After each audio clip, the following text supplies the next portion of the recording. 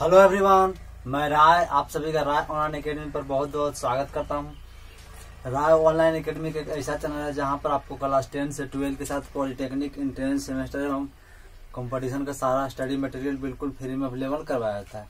तो आज के इस सेशन लाइव सेशन में आप लोग फटाफट इस जुड़ जाइए, ताकि हम लोग जल्द से जल्द इस सेशन को स्टार्ट कर सके। यानी कि हम लोग डिज़ाइन प्रोसीड्यूर है डिज़ाइन एलिमेंट है ना डिज़ाइन मशीन का हम लोग टॉपिक है सेकंड यूनिट का उसको हम लोग समाप्त कर देंगे। तो फटाफट शेयर कीजिएगा, ताकि अधिक से अधिक बच्चा इस लाइव सेशन से जुड़ सके, है ना? और आप सभी से माफ़ी चाहूँगा कि आपका क्लास एक दो दिन डिले हुआ यानी कि आपका न हो पाया। इसका मेन वजह था टेक्निकल इधर टेक्निकल इधर के कारण आपका एक से दो दिन क्लासेस में डिस्टर्बेंस हुआ क्रिएट हुआ। है इसके लिए हम क्षमा चाहते हैं। और आज से पुनः आपका क्लास पूरा शेड्यूल के साथ आपका लाइव सेशन स्टार्ट हो जाएगा।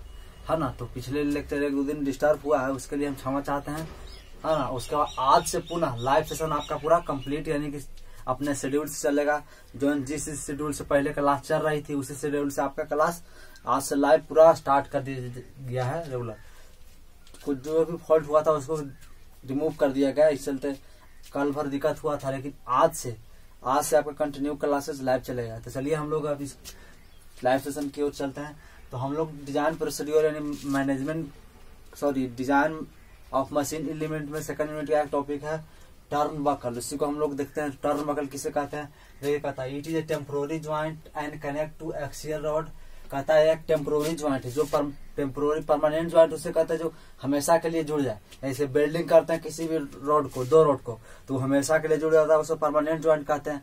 अगर उसी रोड को नट और बोल्ट की सहायता से अगर कस दिए तो टेम्पोरी ज्वाइंट होकर उसको कभी भी खोल सकते हैं। तो वही कहता है it is temporary joint to connect axial rod जो दो एक्सियल रोड को कनेक्ट करता है। कहता in turnbuckle square thread and acme thread are use in जो स्क्वायर थ्रेड देख रहे हैं और एकमे थ्रेड इसमें यूज़ होता है। अब हम लोग देखेंगे कि टर्न बकल आखिर है क्या। टर्न बकल क्या है देखिए इसको एक सीधा एग्ज़ाम्पल समझ समझाते हैं। आपके आप तो पॉल देखे होंगे जहाँ आपके बिजली आती है आपके घर द्वारा। तो जहाँ स्टॉप होता है, बिजली का पॉल यानी खंभा वहाँ आप देखे होंगे, एक स्टेक लगा दिया जाता है, यानी छड़ की तरह स्टेक ताकि आंधी उंधी में या किसी लोड के, अधिक लोड के कारण पॉल न, ना, झुके नहीं। तो उसी को यूज़ करने की टर्न बकल करते देखे होंगे, एक छोटा सा आपका यूज़ रहेगा उसी छड़ में, जिसको स्टेक के द्वारा छड़ को, यानी पॉल को सीधा किया जाता है खड़े। उसमें देखे होंगे, इस तरह से आपका एक डिज़ाइन प्रोसीडियर इसका इस तरह से अरेंजमेंट आपको देखने के लिए मिलेगा। तो उसी को हम लोग टर्न बकल कहते हैं। अब है आके टर्न बकल देखिए ये आपका रोड हो गया ये दोनों रोड है है ना? ये दोनों आपका रोड हो गया और, और देखिए और ये हो गया आपका कपलर पायलट जिसमें वो कसाता है कपलर पायलट हो गया और ये पूरा सेक्शन कपलर हो गया। तो हम लोग देखेंगे मान लीजिए कि अगर टाइट करना किसी पोल को तो उसको हम लोग कस देंगे तो जिससे कसने के बाद टाइट हो जाएगा। अगर किसी पोल को लूज करना है, ढीला देना है तो इसको धीरे धीरे हल्का हल्का, धीरे दोनों साइड से खोलेंगे तो ये आपका लूज हो जाएगा। तो एक हो गया अब देखिए, ये आप देख रहे हैं इस तरह से ये आपका थ्रेड है। अगर देखिए, दाया साइड अगर red right hand right hand के साथ देखिए, अगर राइट हैंड के साथ आपका झुका रहे क्या? अगर राइट हैंड के साथ अगर झुका रहेगा तो उसको हम राइट हैंड थ्रेड कहेंगे। तो देखिए, ये आपका राइट हैंड के साथ झुका हुआ है। इसको हम लोग कहेंगे right hand thread right hand और ये आपका लेफ़्ट है तो इसको लेफ़्ट हैंड थ्रेड कहेंगे।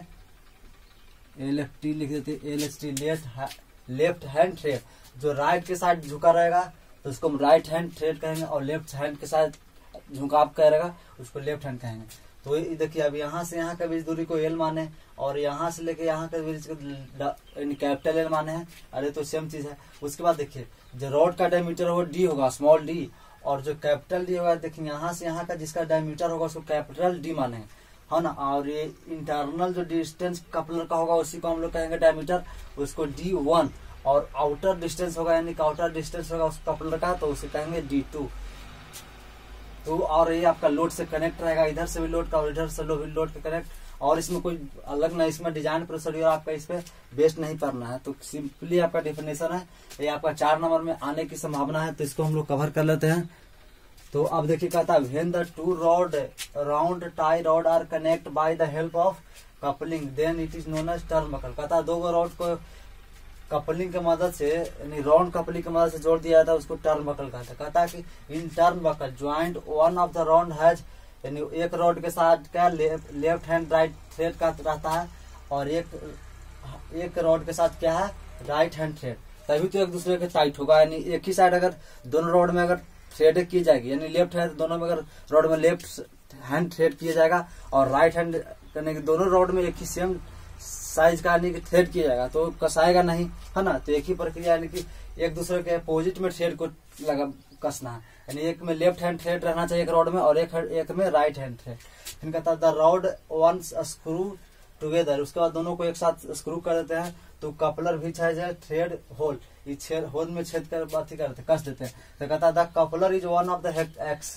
hexagonal या rectangular shape in the centre rounded at the both end तो ये राउंडेड एरिया या हेक्सागोनल किया जाता है it is made of mild steel का भी बना रह सकता है कास्ट आयरन का भी बनता और नॉन फेरस मेटल का भी ये बनता है उसके बाद हम लोग देखेंगे इसका यूज़ कहाँ कहाँ किया जाता है तो कहता है it is use in electric pole अभी बताएँ, आपको इलेक्ट्रिक पोल में इसका यूज़ करते हैं?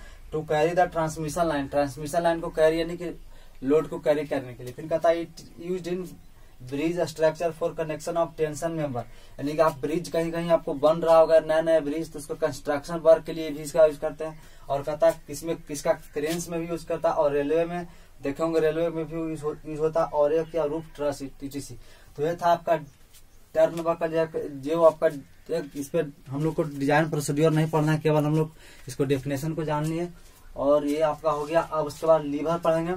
तो देखिए सारा स्टूडेंट, ये तो सिक्स सेमेस्टर में आपका पढ़ना ही पढ़ना है, लेकिन जो भी स्टूडेंट पॉलिटेक्निक इंट्रेंस की तैयारी कर रहे हैं, उनके लिए भी ये पॉइंट बन जाता है कि उनका मोशन एक टॉपिक है फिजिक्स में सेकंड यूनिट में एक मोशन है मोशन यूनिट का एक टॉपिक है, उसी में लीवर करना लीवर है पढ़ना तो आप यानी कि ये आपका हो गया लीवर पूरा एक सेक्शन हो गया पॉलिटेक्निक इंट्रेंस के भी बच्चा के लिए, आपके लिए उपयोगी है, और एक पॉलिटेक्निक इंट्रेंस सेमेस्टर के बच्चा के जो six semester mechanical machine design पढ़ना है आपका तो यहाँ ही तो आप दोनों स्टूडेंट के लिए, है ना यूजफुल है। तो देखिए लीवर का आता है लीवर में भी स्ट्रेट कर्व बार, यानी लीवर स्ट्रेट भी हो सकता और कर्व टाइप यानी कि बकराकार भी हो सकता। है फिर कहता है एक lever is a rigid bar या bar capable to turning about a fix point is called fulcrum इसे अब देखिए, ये मान लीजिए कि लीवर लीवर एक छड़ है, या कर्व इसको सेक्शन कहते हैं।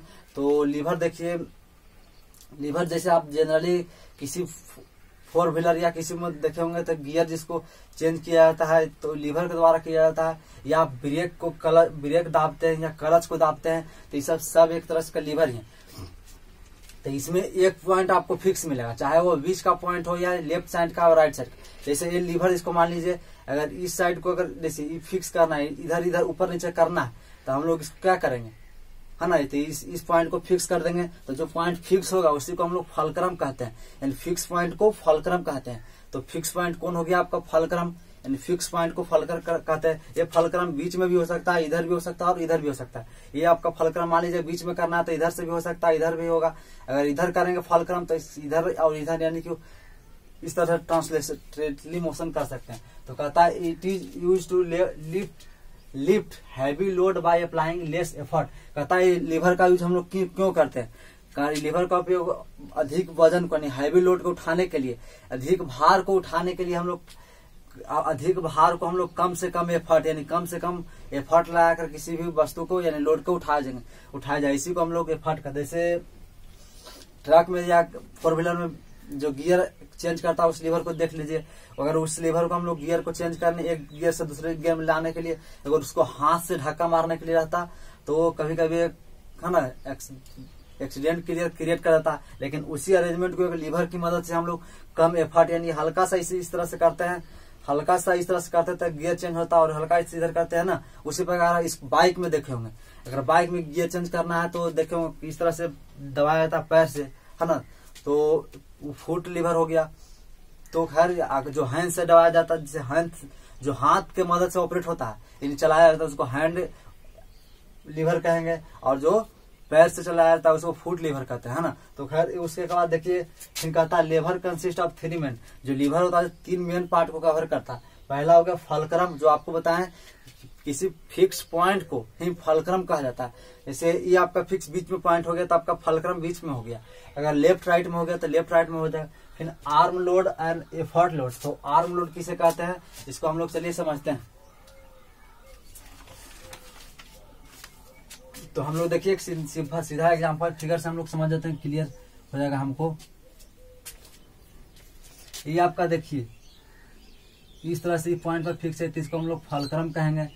ये आपका लोड हो गया और ये आपका देख रहे हैं तो है ना ये फट हो गया। यानी ये फट इसको लिख देते हैं। ये आपका लोड हो गया।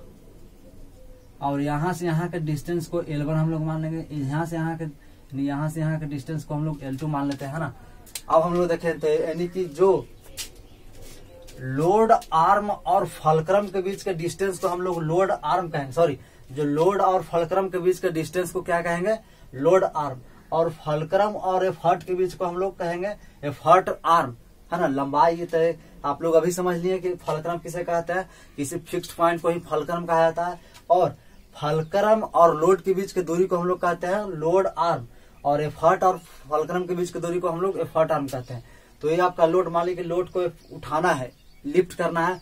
तो इस एफर्ट के द्वारा, यानी हाथ यहाँ एफर्ट यहाँ लगाना, यानी पैर और हाथ यहाँ लगाना, जिससे आपका लोड लिफ्ट हो सके पुश और डाउन हो, है ना? तो कहता है perpendicular distance between load point and fulcrum तो कहता है, इसके और इसके बीच के परपेंडिकुलर डिस्टेंस को क्या लोड आर्म कहेंगे? फिर कहता है perpendicular distance between effort point and fulcrum यहाँ से यहाँ के बीच के, यहाँ और यहाँ के बीच के दूरी को हम लोग एफर्ट आर्म कहते हैं। आप देखिए, ये जो पूरा जो प्रिंसिपल वर्क करता है, वो करता है, देखिए it work on the principle of moment यानी यह मोमेंट के प्रिंसिपल पर वर्क करता है। जैसे आप देखे होंगे मोमेंट निकालने के लिए कैसा निकालता है? जैसे इस पॉइंट से मोमेंट को निकालना है, यानी कि यहाँ से निकालना है तो इसको ऊपर मान लीजिए लोड हो रहा है। तो यानी क्लॉक ये क्लॉक के दिशा में हो गया और एक एंटी क्लॉक में। यानी कि क्लॉक वाइज डायरेक्शन में जो भी मोमेंट निकलता है और जो anti clock wise direction moment निकलता है दोनों इक्वल होता है। तो वही हम लोग लिखनी है। ई यानी कि सोलन पूरा जो मोमेंट का अरेंजमेंट हो गया तो E sigma clockwise moment sigma पूरा सिग्मा हम लोग पूरा मान लेते जोड़ के फिर sigma anti clock moment equal होता है दोनों के मोमेंट इक्वल होता है। अब हम लोग मोमेंट निकालते हैं आखिर कैसे? तो मोमेंट देखिए जो जितना भी लोड है उसको इस, इस पॉइंट से हम लोग मोमेंट निकाल रहे हैं इसका। तो यहाँ से आपका क्लॉक वाइज निकाल रहा है यानी कि देखिए यहाँ लोड यानी कि लोड इन टू लंबाई इसका कहते हैं एल वन तो यानी लिख लिए हम लोग load into L one और यहाँ हो गया पी इंटू एल टू तो आपका पी इंटू एल टू हो गया है ना? अब इसी को हम लोग पी और लोड और एफ़ के बीच के एक, एक हम लोग रिलेशन निकाल दिए हैं। तो देखिए रिलेशन कैसे निकला? पी को यहाँ रहने दिए और लोड को यहाँ भेज दिए तो पी अपॉन लोड हो गया बराबर L one upon L two हो गया है ना? तो यानी कि load upon area sorry effort upon load के हम लोग जान गए L L equal L ratio L two हो गया। तो ये आपका एक फॉर्मूला बन गया इसको याद कर लीजिएगा। फिर कहता है मैकेनिकल एडवांटेज एक टर्म है उसको हम लोग समझते हैं आखिर मैकेनिकल एडवांटेज किस कहते हैं। तो मैकेनिकल एडवांटेज जैसे लो, लोड हो गया इसका फॉर्मूला होता है it is ratio between load upon effort तो लोड अपॉन एफर्ट हो गया इसको मैकेनिकल एडवांटेज को हम लोग एम ए से सूचित करते हैं। तो हम लोग लोड यानी कि डब्ल्यू अपॉन लोड अपॉन इसमें पी हो गया। और यहाँ हम लोग रिलेशन निकाले, यहाँ हम लोग relation M A equal to निकालने क्या? लोड अपॉन एफर्ट और लोड अपॉन यानी उसको ऊपर नीचे कर देंगे तो हम लोग यहाँ से निकल जाएगा। तब हम लोग देखिए, इस टर्म को यानी कि M A equal to M A equal to यहाँ से लिख सकते हैं। L two upon L one भी इसको लिख सकते हैं, है ना? क्योंकि दोनों का रिलेशन आपका सेम है। अब हम लोग देखिए इसका जो लीवर है वो कितने प्रकार का होता है। तो ये आपका जनरली कोई भी लीवर होता है वो तीन प्रकार का होता है। देखिए फ़र्स्ट एक होता फ़र्स्ट क्लास लीवर एक होता सेकंड क्लास लीवर और एक होता है थर्ड क्लास लीवर तो फ़र्स्ट क्लास लीवर सेकंड और थर्ड लीवर क्या है? तो हम लोग सही समझते हैं। देखिए, कहता first class lever first class lever में जो फलक्रम होता है, फलक्रम को अगर बीच में फिक्स कर देंगे, है ना? फलक्रम को अगर बीच में फिक्स कर देंगे तो उसको हम लोग उसको हम लोग क्या कहेंगे? फ़र्स्ट क्लास लीवर यानी the in first class lever इसको डिफिनेशन में डैश देख लीजिए in first class lever the fulcrum is between the fulcrum is between इसको लोड और एफर्ट के बीच में अगर फलक्रम होगा तो हम लोग इसको क्या मानेंगे?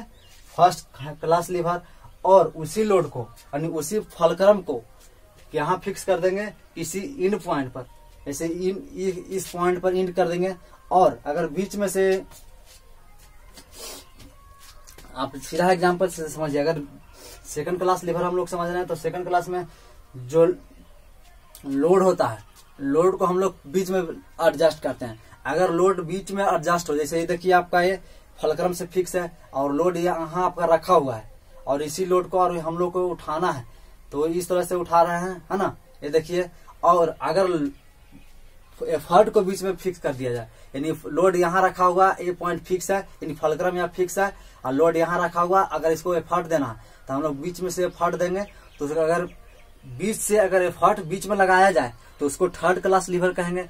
अगर लोड को बीच में लगाया जाए तो उसको सेकंड क्लास लीवर कहेंगे। अगर फलक्रम ही बीच में हो तो फ़र्स्ट क्लास लीवर कहेंगे।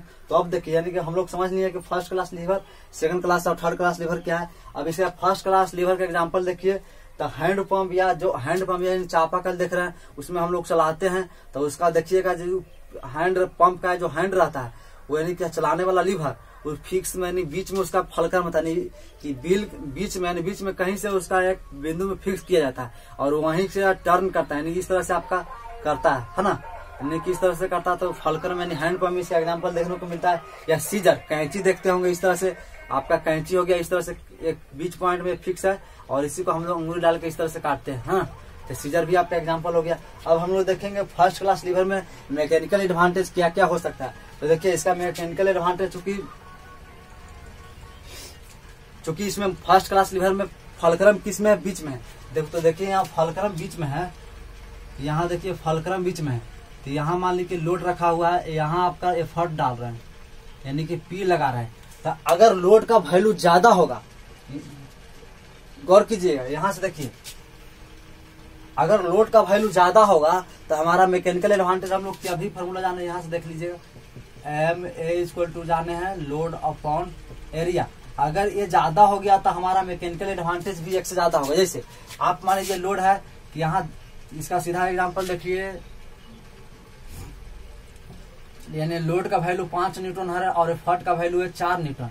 यानी अगर लोड का वैल्यू अगर लोड का वैल्यू ज़्यादा है और एफर्ट का वैल्यू ज़्यादा है एफर्ट का वैल्यू कम है तो इसको पाँच से भागा दे देंगे चार में तो हमारा क्या निकलेगा? यानी एक निकलेगा। यानी एक से हमारा जो भी निकलेगा, एक भागा देने पर हमारा एक से अधिक, है ना, भागफल से भाग हुआ तो यानी एक से अधिक, यानी यहाँ से एक कंडीशन निकल के है कि अगर लोड का वैल्यू अधिक होगा किससे? मैकेनिकल सॉरी एफर्ट से। तो हमारा मैकेनिकल एडवांटेज क्या होगा? एक से तो चूँकि इसका वैल्यू रेशियो निकल का एक से अधिक आ गया, है ना? तो हम लोग निकाल लें M mechanical advantage equal to एक से ज़्यादा। अगर यही अगर यही पाँच रहता और ये आपका चार रहता है लोड का वैल्यू चार न्यूटन और एफर्ट का वैल्यू पाँच न्यूटन तो हमारा क्या हो जाता है यहाँ कंडीशन यानी तो एक यानी कि लोड यानी कि मैकेनिकल एडवांटेज एक से कम निकलता है भागफल निकलने पर एक से कम होता। तो हमारा यहाँ एक कंडीशन ये निकलेगा कि मैकेनिकल एडवांटेज भी एक से कम ही हो सकता। अगर दोनों लोड और एफर्ट का वैल्यू दोनों का सेम हो तो मैकेनिकल एडवांटेज यहाँ आपका आपका ये सेम हो जाएगा। है ना? मैकेनिकल तो यही लिखा गया है एम इक्वल टू यानी मैकेनिकल फ़र्स्ट क्लास लीवर में मैकेनिकल एडवांटेज एक से अधिक हो सकता है एक से कम भी हो सकता है और एक के बराबर हो सकता। है तो ये आप याद रखिए, उसके बाद सेकंड क्लास लीवर में हम लोग देखते हैं तो सेकंड क्लास लीवर में हम लोग क्या रहता है? सेकंड क्लास लीवर में हम लोग का फिक्स क्या रहता है? तो लोड को फिक्स कर देते हैं। तो लोड को फिक्स कर देते हैं तो उसको सेकंड क्लास लीवर कहते हैं। जैसे आपका ये देखिए, ये फलक्रम इधर है, और लोड यहाँ बीच में रखा हुआ है फट इधर से इधर लगा रहे हैं। तो हम लोग इसमें कोई ही वस्तु अगर बीच में रख दिया जाए, अगर एफर्ट किनारे से लगाया जाए तो हमारा कम से कम एफर्ट का, यानी कम एफर्ट का भी यूज़ करके लोड को उठा सकते हैं। तो ठीक, उसी प्रकार देखिए। तो ये हम आपका, देखिए लोड यहाँ आपका रखा हुआ है, और ये तो यानी कम यानी कम एफर्ट से हम लोड को उठा सकते हैं। यानी कहने का मतलब है कि अगर लोड एफर्ट का वैल्यू कम भी रहेगा तो हम लोग एफर्ट को उठा सकते हैं। सॉरी एफर्ट का वैल्यू आपका कम भी रहेगा ना तो हम लोग लोड को उठा सकते हैं। तो इसका यहाँ से मैकेनिकल एडवांटेज निकलेगा कि लोड कम रहने पर भी हमारा मैकेनिकल एडवांटेज ही होगा। यानी इसका एक मैकेनिकल एडवांटेज यानी कि सेकंड क्लास लेवल का मैकेनिकल एडवांटेज एक से अधिक होगा। यानी मैकेनिकल एडवांटेज इसका एक से अधिक होगा। और थर्ड क्लास आप लीवर में देखते हैं तो थर्ड क्लास लीवर में क्या होता है? जो लोड यानी एफर्ट होता है यानी एफर्ट को बीच में रख देते हैं। एफर्ट को बीच में रखते हैं तो उसको थर्ड क्लास लीवर जैसे आप, आपका फलक्रम में फिक्स है और यहाँ आपका लोड है और यहाँ एफर्ट है। तो ये फट हम लोग बीच से डाल रहे हैं, यानी एफर्ट का जो पॉइंट है बीच में है। तो हम लोग लोड अगर यहाँ भी अगर छोटा भी अगर लोड रहेगा, अगर उसको हम लोग उठाने के लिए, उसको उठाने के लिए हमको अधिक यूज़ करना पड़ेगा क्या? ये अधिक एफर्ट डालना पड़ेगा। तो तो जाना है कि अगर एफर्ट अधिक डालेंगे तो हम लोग जानते हैं कि अगर एफर्ट देखिए यहाँ ए में इसको टू हम लोग जानते हैं load upon load upon effort अगर एफर्ट ज़्यादा अगर दे रहा है तो हमारा मैकेनिकल एडवांटेज कम है, लेकिन मैकेनिकल कहने का ये एक निष्कर्ष निकला कि मैकेनिकल एडवांटेज यदि एफर्ट का वैल्यू इसमें थर्ड क्लास लीवर में मैकेनिकल एडवांटेज आपका निकल जाएगा, एक से कम रहेगा, यानी कि हमेशा एक से कम ही रहेगा।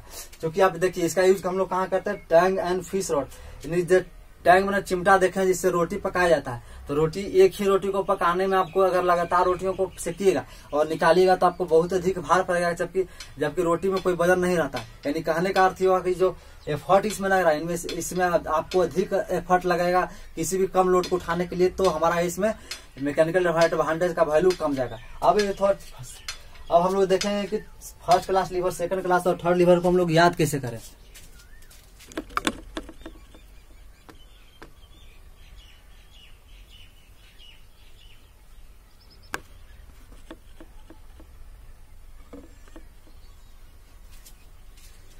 है ना तो इसको याद रखने के लिए हम लोग देखिए, एक फॉर्मूला निकाले हैं एफ़ डब्ल्यू और एक पी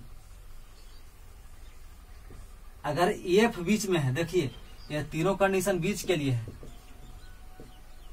यानी तीनों कंडीशन अगर एफ़ बीच में है तो फ़र्स्ट क्लास लीवर कहेंगे। अगर लोड बीच में है तो सेकंड क्लास कहेंगे। अगर एफ़ हट बीच में है थर्ड क्लास लीवर कहेंगे। यानी ये याद रखिएगा एफ़ डब्ल्यू पी ये तीनों कंडीशन बीच के लिए अगर लो एफर्ट बीच में तो फ़र्स्ट क्लास लीवर लोड बीच में तो सेकंड क्लास लीवर और एफर्ट आपका बीच किनारा, यानी बीच में है तो आपका थर्ड क्लास लीवर